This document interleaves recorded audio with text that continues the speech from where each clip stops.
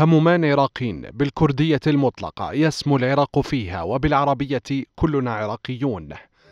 مسعود بارزاني صانعا مجده التاريخي عقل مدبر لأجل العراق الواحد. صانعا مجده التاريخي بهذه الكلمة عقل مدبر لأجل العراق الواحد الاسم الذي يعرفه العراقي والعربي لم يتوقف ذات يوم عن الإبحار في محيط الوطنية الذي يتسع للعراقيين بمختلف حضاراتهم.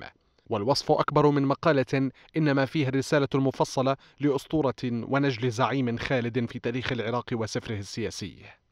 يزف مركز الروابط للبحوث والدراسات الاستراتيجية. تفاصيل تؤرخ إنجازات رجل سلام هادئ متزن ولو كان في عمق العاصفة.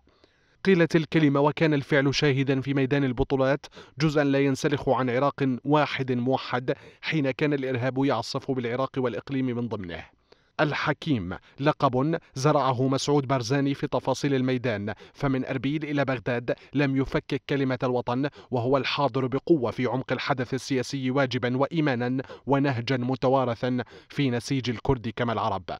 والناظر إلى كردستان. باريس العراق توصف بقلم المختصين بوحدة الدراسات العراقية قولا وفعلا وهي باريس. لكن صانعها جسد برجا كإيفل برجا من العلاقات الوطيدة مع كل الأقطاب موازنا غير موارب أو ممتنع عن خدمة العراق وطنا وشعبا واحدا بمختلف الأطياف.